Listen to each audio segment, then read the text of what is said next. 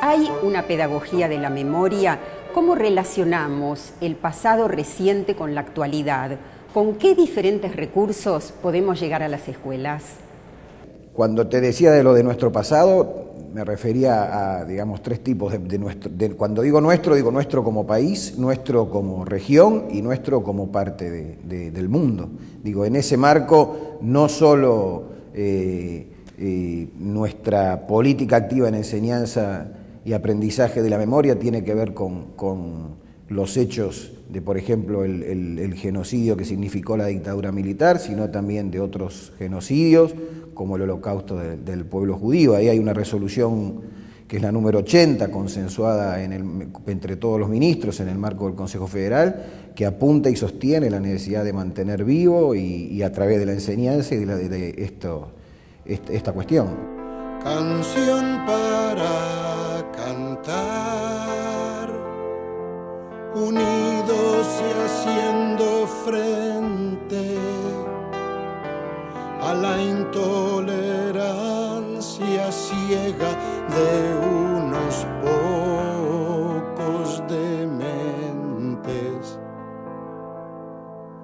arrastran en su discurso la sangre de un pueblo débil.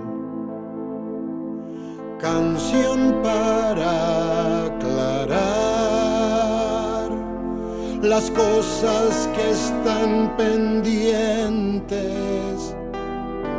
Justicia que queda chica donde la vida no vale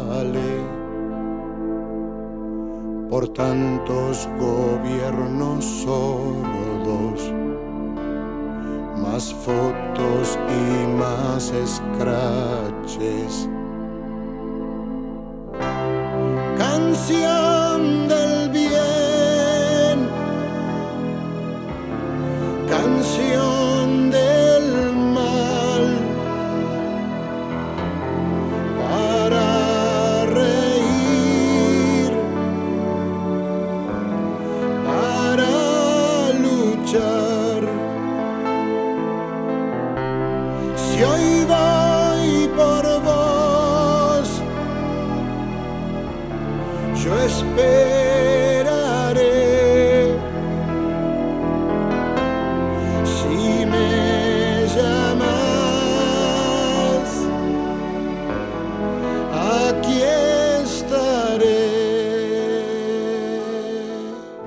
Llevar los temas de la historia reciente a las escuelas suele generar cierta resistencia en los docentes, miedo a las preguntas, preocupación por qué van a decir los padres, también preocupación por dónde termina la información y empieza la opinión. Quizás lo más importante es instalar el tema y a partir de ahí que tanto los alumnos como las familias lo sigan abriendo.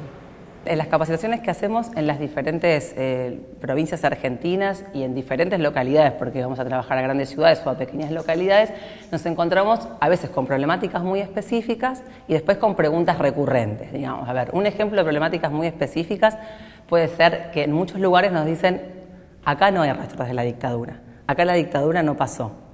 Que puede estar instalada esa idea o también puede estar instalada como una suerte de memoria de que durante la dictadura había mayor seguridad. O sea que nosotros lo que hacemos allí es empezar justamente a romper eso. Eh, el, concepto de terrorismo de Estado nos ayuda para eso porque eh, dejamos, tratamos de dejar en claro que la dictadura no es algo que le sucedió exclusivamente a las supuestas víctimas directas, sino es algo que atravesó todo el cuerpo social. Eso es algo que aparece mucho, la idea de que acá no pasó nada. Cuando uno después empieza a avanzar y sigue trabajando eh, y convoca a investigaciones, a producciones monográficas y demás, empiezan a aparecer miles de historias vinculadas a la dictadura donde efectivamente sí pasaron cosas.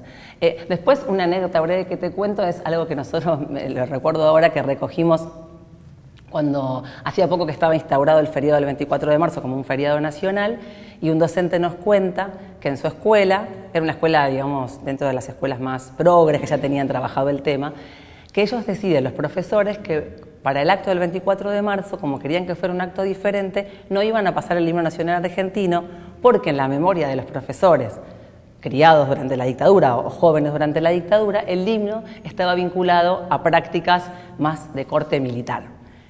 Hacen el acto, ponen, otra canción de León Gieco, leen un fragmento de la carta de Rodolfo Walsh y cuando vuelven al aula, los alumnos les recriminan la ausencia del himno.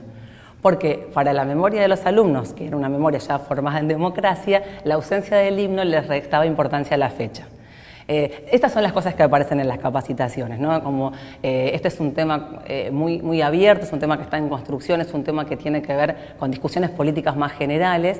entonces, es como que, esa trama de la construcción del tema aparece con mucha fuerza en las capacitaciones. Después, si pensamos, por ejemplo, en, en, otro eje como Malvinas, una pregunta recurrente, sobre todo de los chicos más jóvenes, es ¿por qué los soldados no desertaron?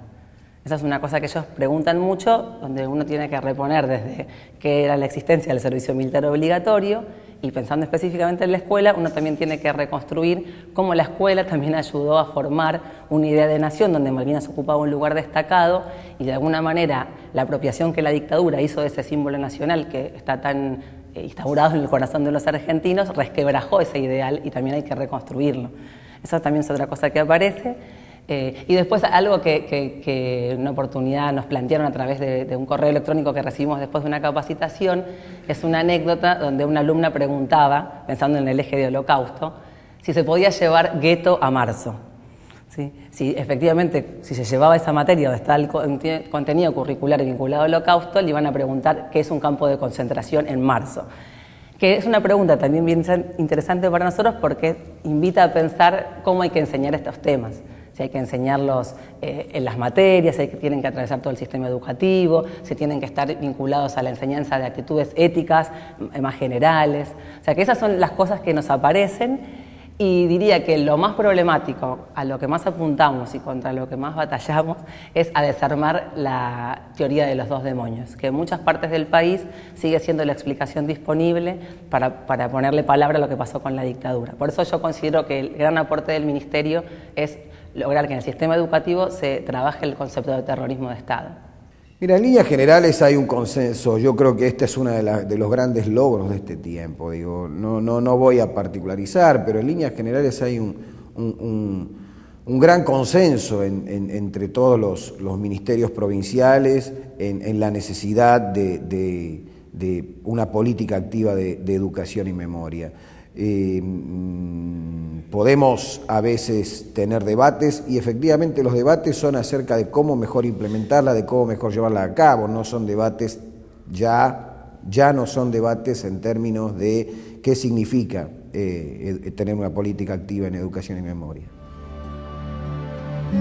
Es cada día una aventura, aprender a enseñar, enseñar a aprender, reconocer necesarios con derecho a crecer, para hacer crecer.